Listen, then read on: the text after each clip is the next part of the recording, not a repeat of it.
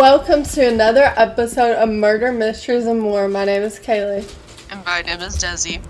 In this episode, we will be discussing the Tinseltown murder of Thelma Todd. Thelma Todd was born in Lawrenceville, Massachusetts in 1906. Thelma was bright and beautiful. After Thelma graduated high school, she attended university to become a school teacher. While she attended university, Thelma was a model. In 1925, Thelma won the title of Miss Massachusetts. After her win, Paramount Pictures signed Thelma for a one year contract. This kick-started her career in Hollywood. She went to compete for Miss America pageant. Although she did not win the Miss America pageant, it still opened opportunities for Todd to be a part of the filming industry. She was showcased in films with other famous actors such as the Marx Brothers, Laurel and Hardy, and Zasu Pitts. Thelma's time in Hollywood was not easy. There was a clause in her contract stating that she was not allowed to weigh more or less than a specified weight. These restrictions caused Thelma to become addicted to diet pills. From 1932 to 1934, she was married to union man named Pat DiCicco. Thelma explains how some of the big name Hollywood producers would put her in uncomfortable situations. Everyone in Hollywood was obsessed with her. She had multiple affairs with men and had a signature drink called Three Fingers of Rye. Hollywood often casted her roles based on her beauty and not skills. She was portrayed as the dumb blonde in multiple films. Thelma called Hollywood out on this because she wanted to be casted for her talent and not her looks. In 1934, Todd opened her first restaurant on the Pacific Coast Highway. The restaurant was called Thelma's Sidewalk Cafe. Her business partner was one of her affairs, Roland West and his wife, Jewel Carmen. West and Carmen's house was about 500 yards from the cafe. Saturday, December 14, 1935, Todd attended a party in honor of her accomplishments. The party was located at Cafe Trocadero off of Hollywood Sunset Strip. Witnesses at the party stated she seemed to be enjoying herself. She made a bet with friends if she didn't show back up to work the next day, they'd get a free meal. Roland wanted Thelma to be back by no later than 2 a.m. that night. 1:50 a.m. rolls around and Thelma asks Sid Grauman to call Ronald and let him know she's on her way home. However, Todd stayed until 3.15 a.m. Thelma's ride home, Ernest Peters dropped her off at the cafe between the hours of 3 and 4.20 a.m. None of her friends saw Todd at the restaurant that day. December 16th, Thelma's maid, Mae Whitehead, started her usual routine. This included getting her Lincoln ready and bringing it to Thelma's apartment, which was located above the cafe. When Whitehead went to get the car, she saw Thelma's body in the car. She laid on top of the steering wheel. It was clear she had fractured her ribs and broke her nose. According to her obituary in the LA Times, there was blood stains on her gown. Her hair was perfectly styled. The car was located in Roland West's garage. Her death was ruled as accidental carbon monoxide poisoning. Despite this, there are some suspicious details surrounding this case. Many people believe that she was murdered. At this time, it was noted that Todd had been seeing another man from San Francisco. Did she really die from carbon monoxide poisoning? Here are some questions. Did Thelma's chauffeur truly take her back home after the party? It's a good possibility that he could have truly taken her back home after the party, especially because they found her in her garage which was where her apartment was and all stuff. But there's also another possibility that she could have walked home or somebody else could have taken her home after certain hours. Yeah, I think that if he took her back, he probably did take her back to her apartment because she was found in the location near her apartment. It is possibility that that someone else actually took her back there and not the chauffeur. It's theorized that Todd got locked out of her apartment and went to West's garage to turn on the car to stay warm because this was in the middle of December. Did she truly die from carbon monoxide poisoning? There's a lot of suspicious details about this case because, first of all, Thelma Todd was really into cars. She probably knew about how dangerous it was to be left in a car in a garage running all night. She probably knew about carbon monoxide poisoning. Another thing to note as well, a lot of people don't know this, but in her purse, it was found in the garage, in that same garage, there was a key to the side door of her apartment. So if she got truly locked out of her apartment, she has the key to the side door. So this just does not like add up. It just seems suspicious. Carbon monoxide poisoning, they didn't have too much like information on it back then, and not everybody knew about it. Even though, you know, there were a lot of car people out there. She could have accidentally sat in her car all night and left it on, and result of carbon monoxide poisoning, or somebody could have intentionally left her vehicle running all night just to cover up the fact that she died another way besides carbon monoxide poisoning. She was not wearing the appropriate shoes because the garage was like 500 yards away. She would have to have walked 500 yards in heels. Clear, like her heels were fine, like it didn't seem like she walked a long ways. That kind of makes it rule out it being carbon monoxide poisoning. Now, if those details did not happen, um, then I would be more in line to carbon monoxide poisoning being the cause of her death. Which leads into our next question.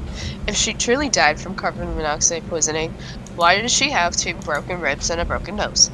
She could have very easily sustained broken ribs and a broken nose from before. Could have been like previous days or previous weeks, but it is very strange that on top of carbon monoxide poisoning, that she did have two broken ribs and a broken nose, kind of just seems like maybe she was in a struggle with somebody at one point and if that's the case this person could have very easily like decided they were done with her and all that stuff and took her out. Yeah i feel like if she just fell asleep at the wheel and it was because of carbon monoxide poisoning she would only have sustained the broken nose but the broken ribs somebody was definitely after her. She was around a lot of different suspicious men and a lot of men were very like abusive back then. A lot of women did not have a lot of freedom around that time. It was looked down upon if women were married. She could have also gotten into some sort of altercation beforehand. Somebody could have beat her up at the party. She came home was drunk fell asleep at the will, but definitely like someone had to hurt her, even if they didn't murder her. At the very least, she had to be involved in some sort of fight at party. Dr. Wagner did her autopsy. He mentions carbon monoxide poisoning was the result of 70% of her death.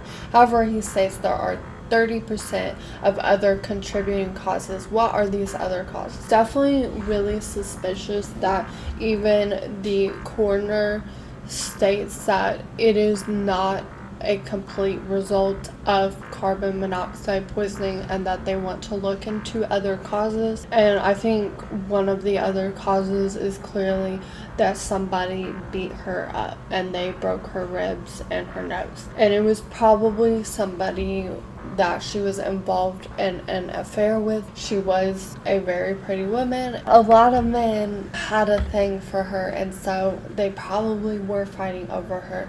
And some of the men she was involved in have been known to be abusive towards other women. Want to mention as well that her business partner, Roland West, he seemed a little bit controlling of her. The fact that she was an adult, but he told her she had to be back at a certain time and she lived so like very close to him and everything and he had a whole wife. Unfortunately even now back in those days men were very controlling. Men had a lot more power than women did.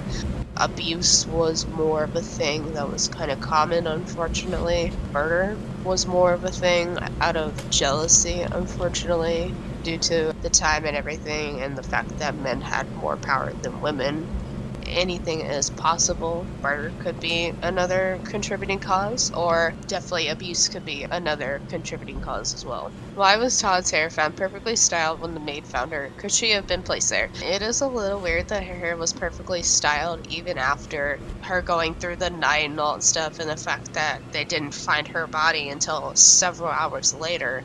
Well, it is a little weird that it was found perfectly styled, although back then they used a lot of products and all that stuff in hair, so it could have stayed in place up until that time, but it is very possible she could have been placed in that car.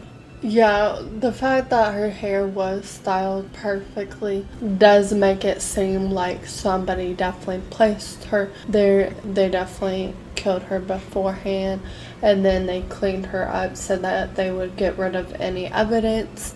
But with the hairspray and all, I will mention, especially back then, people would use ridiculous amounts of hairspray, and people still do nowadays that could be another reason why her hair just didn't go crazy. However, it is weird after like a windy night and partying all night that her hair was found in perfect condition.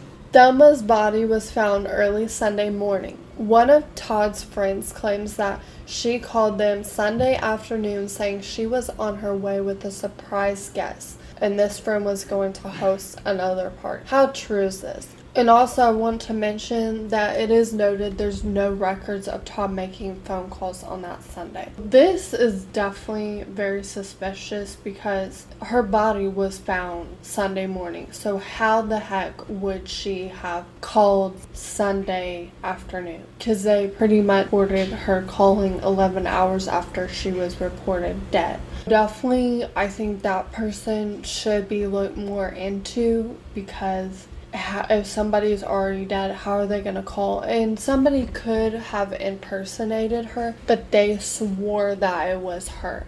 They might have also done this too for clout because Thelma Todd was like an up and coming actress and like everybody loved her because she was true to herself and she had the beauty. They might have done this because they wanted more clout. People will literally do anything for clout. I agree. People do the weirdest and craziest things just to get attention or to have their name attached to somebody else's name. Why were peas and carrots found in her stomach when neither were found at the party? She could have very easily been taken out to dinner again after the party, could have met up with the, the man that she was supposedly seeing at the time. She could have possibly met up with West or somebody else that she knew. It's important to note this because the coroner noted like they just started like digesting in her system. Since they were not at the party, she probably did go out. She was seeing a man around this time. He was from San Francisco, so she probably went out with him and they probably went out to dinner. She could have also went out with Roland West as well because we know they had an on and off again affair as well. The night of the party, Ty received a suspicious message. What could this message have been? So I think if we were able to find what this message was, it would definitely help a lot. The message could have been from Roland West because she did have an affair with him before and she was seeing this new guy. So Roland West could have been very easily jealous of her. He also wanted her to come home early and he was very controlling of her. So it could have been from him. It could have also been from his wife. A little bit before her death, like the business was starting to go under as she could have been like super pissed about how the business wasn't doing well and blamed it on It could have also very easily been some other creeper because when you're famous and you're a Hollywood actress, there's going to be a bunch of creepers out in the world, and it could have just been from random guy named Bob that lived like five states away. Death threatened her, but wasn't really gonna do anything. He had nothing else to do with his life. Around the time of her death, Todd started to see a new man from San Francisco. Both West and Todd have history. Could West have been jealous of this new relationship? Very possible. West and Todd, they kind of had an off and on again thing, and there was also rumors going around that Todd and West and his wife were involved with each other, possibly. If West or his wife had gotten news of her seeing a new man, West could have very easily gotten very jealous. Even his wife could have gotten jealous if the rumors were true, of course. We all know jealousy can drive people to do the craziest of things. The fact that they had a whole cafe together, West probably didn't want her to fall in love with this new man and leave the business with both him and his wife because the business was tanking and that would have been a way for Thelma to get out of it, so he might not have liked that. Could Roland West or Jewel Carmen have killed Thelma Todd? It is very possible, especially like I said multiple times. There's many people that do believe that Roland West did kill her because a lot of times his story kind of don't add up. There's just a bunch of like inconsistencies. Their business going under. They could have, Jewel could have had a rage fit going on and she could have been really upset that they, they were doing really well and then all of a sudden this cafe is tanking and they're about to be in this whole like mess. Maybe Thelma tried to get out of it and they didn't like her. Or maybe Jewel didn't like Thelma being involved with her husband. Was her murder accidental? It's important to note that West admits at his deathbed to accidentally locking her in the garage, thus killing her. It's not unheard of to not know that somebody's in a garage and accidentally lock them in there. It's very unlikely because you would think that somebody would know if they were in the garage and think pay more attention to detail. So I feel like him admitting to accidentally locking in her her in the garage kind of seems more not of an accident but more intentional just because we've already established that him and Todd were off and on and he was a very controlling man. He could have thought that this was a way to get rid of her without being caught. Yeah, I think, like you said, West admitting at his own deathbed to accidentally locking her in the garage. If you accidentally kill someone I, and you waited that long to freaking admit it, I don't think that you accidentally killed them. I, I think you would have came forward sooner. When people are on their deathbeds, they know they're gonna die anyway, and so like them putting him in jail wouldn't solve anything. He kind of waited till then to tell the truth because got away with it so long and he just wanted the world to know. Also, like I mentioned before, she had a key to the side door of her apartment. And I know, like, when you're drunk, sometimes you don't do the smartest things, but most of the time, most people, they have a key. They're going to go in the apartment. Most people are not going to lock themselves in a garage and die from carbon monoxide poisoning. It can happen, but it's very, very unlikely. And then also with her not having the appropriate shoes, her having blood on the gown, her having a broken nose, two ribs, and her hair being in perfect condition, all the men in her life being shady, and even like in her contract, it, her not being able to weigh a certain weight without getting kicked out of Hollywood is just pretty suspicious. Oh. Like, it just to me screams murder. It's also very important to note that sometimes people say the craziest things on their deathbeds, but they didn't even do anything been notated before that serial killers on their deathbeds or their last day before lethal injection that they will say that they killed somebody when in reality they didn't either get out of it get attention or just to satisfy themselves yeah, because he, he could have also did it for clout as well because, like, she was an up and coming actress and, like, everybody really knew her at that time, so he just wanted to make himself more famous. Her ex husband, Pat DiCicco, was known to be an abusive man. Could he have killed her? It is also possible that her ex husband could have killed her. They were in a relationship for two years, and this man was very controlling, very abusive, and he even had another wife that he abused as well. He could have been very easily jealous of plenty of other men that were in her life, such as her business partner, Ronald West, the new man she was seeing from San Francisco. It was also stated by a witness at the party that both Thelma Todd and Pat were talking together and they seemed to be in like a very heated argument and it could have gone a little bit too far. Unfortunately, in domestic violence situations, abuse and all that stuff, I would say probably about 50% of the time, abuse can end in murder. Yes. Earlier in 1935, Thelma received eight death threats that stated she must pay $10,000 signed by Ace of Hearts. People theorize that mobster Lucky Luciano ordered her assassination. Is this possible? She did owe him money and she didn't pay him back. It is very possible because back in those days, about their money and everything, and they would do anything to get their money back.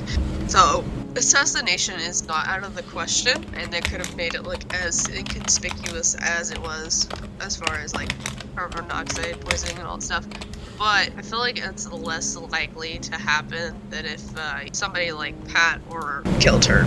Yeah, and I want to also mention that $10,000 is a lot from back then. That's equivalent to $207,000 today. And yes, there were mobsters back then, but at the same time, like, it could be just for more clout and trying to cover up the fact of other suspects. I think other people have more backing evidence. These death threats could have simply been from anyone like Billy Bob Joe from all the way from New York sent these and he really didn't do anything. But people are like, oh, I think he did it. But the only evidence they have is supposedly sending death threats. I think that there would be a lot more evidence. There wasn't really a lot of evidence with her knowing Lucky Luciano or anybody she knew being like acquaintances with him or anything. But it is still possible because she was becoming a big Hollywood star. She definitely had the money. People will kill for money, but I feel like there would be a lot more backing evidence. What do we believe happened the night of Thelma Todd's death? I truly don't believe that she just died from carbon monoxide poisoning. I truly believe that either Roland West or her ex husband killed her. They were both very abusive men. Roland West, though, seems more like a suspect because he was a lot more involved in her life during that time. He was very controlling. She was a grown adult woman, and he told her that she had to show up back home at a certain time and she didn't want to leave the party until like 3:15 a.m. so he probably got heated about that and then their business was tanking. This happened in his garage as well, and he probably had the resources to kill her. He didn't have a lot of consistencies with his story. He also admitted at his deathbed to killing her. Her hair was found perfectly styled. She had a key in the purse. I truly believe that somebody really did kill her because how else would she have sustained the broken ribs and the nose if it was just carbon monoxide poisoning? Yeah, it's very unexplained as to if she was truly killed by carbon monoxide poisoning, as she ended up with a broken nose and broken ribs. Usually, you sustain those if you've gotten into it with somebody or through abuse and all that stuff. I feel like Pat or Roland could have killed her. It could have even been somebody that we don't even suspect, but I don't just believe that she was killed via carbon monoxide poisoning. I feel like she was intentionally put in that garage and placed the way that she was just to throw authorities off when in reality she was murdered. And she was also seeing a new man at the time as well. So it does seem coincidental that kind of happened during the same time. So that what makes me think Roland did because he was just freaking jealous and controlled. Thank you for listening to another episode of Murders, Mysteries, and More. Remember to always keep your eyes open. You never know when someone's creeping.